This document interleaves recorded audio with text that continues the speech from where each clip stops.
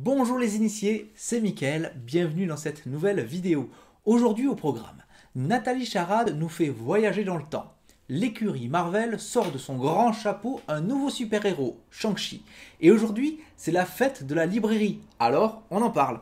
Mais avant ça, le générique.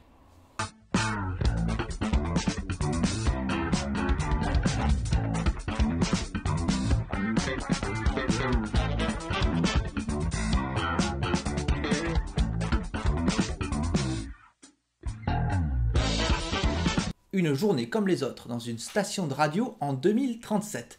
Telle est la description de ce podcast fictionnel que propose l'autrice Nathalie Charade. À vous de trancher. L'émission où vous êtes seul juge. À vous de trancher. Dans cette émission fictive qui dure 11 minutes, l'action se déroule dans les studios d'une station de radio en 2037.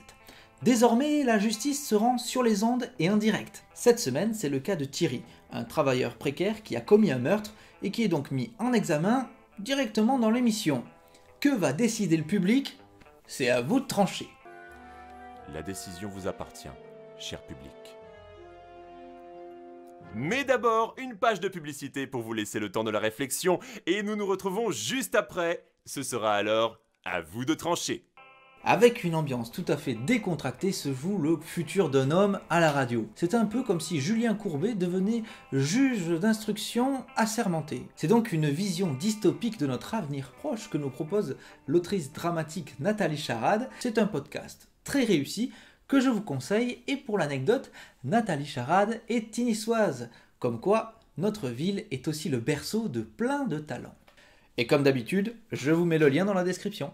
Chers auditeurs, on me fait signe que l'émission touche à son terme. Vous avez entendu les témoins en faveur de Thierry? Le moment est venu pour vous de voter en votre âme et conscience. Les films Marvel. C'est un peu un plaisir coupable pour beaucoup d'entre nous. Et depuis 2008, ils ont pris soin de mettre au cinéma dans un univers interconnecté tous les personnages issus des comics américains des années 60 à 90. Et comme la culture des comics est toujours montrée inclusive, le nouveau super-héros asiatique de l'écurie Marvel se dévoile dans une toute nouvelle bande-annonce. Direction l'Asie donc avec Shang-Chi et la légende des 10 anneaux. C'est la première apparition au cinéma de ce personnage créé dans les années 70 et ici, ce maître du kung-fu devra affronter le mandarin et percer le mystère des 10 anneaux. C'est le 25e film du Marvel Cinematic Universe et comme d'habitude, le cahier des charges sera respecté tout en insufflant un vent de fraîcheur dans ce monde de super-héros. Et c'est là la force des studios Marvel. Ils donnent la direction générale et laissent aux créateurs et aux réalisateurs de chaque film beaucoup de liberté dans la création. C'est donc un nouveau personnage que nous allons découvrir cette année.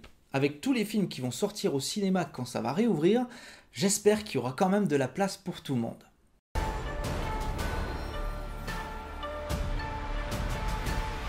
Que vivent les livres Aujourd'hui, c'est la fête de la librairie pour 480 librairies indépendantes en France et en Belgique. Et oui, le livre est tout ce que le numérique n'offrira jamais. Un objet, du papier, des odeurs, des souvenirs. C'est donc aujourd'hui, le 24 avril 2021, que, plus de 480 librairies de France, de Belgique et de Suisse participent à la 23e édition de cet événement soutenu la région Île-de-France. Et parmi elles, 93 librairies sont situées en Île-de-France et dans notre département, on a celle de Gif-sur-Yvette par exemple. Toutes ces librairies offriront à leurs clients un livre coédité spécialement par l'association Verbe et Gallimard et tiré à 25 000 exemplaires. Que vive la loi unique du prix du livre Ce livre est une célébration des 40 ans de la loi Langue 10 août 1981 qui a instauré un prix unique pour le livre en France. Et encore pour l'anecdote, l'autre nom de la fête de la librairie indépendante est un livre, une rose. Et cela en souvenir d'une vieille tradition catalane voulant que, à la Saint-Jordi, les librairies offrent à leurs clients un livre et une rose. Alors, foncez dans les librairies indépendantes et en plus, vous aurez un livre gratuit. C'est pas beau ça?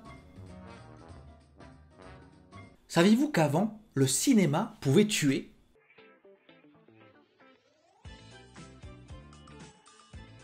Non, non, ce n'est pas une blague, le cinéma pouvait vraiment tuer des gens, et le 7e art a même connu des tragédies. En cause, le nitrate de cellulose, autrefois utilisé dans la fabrication de la pellicule, un composant extrêmement inflammable.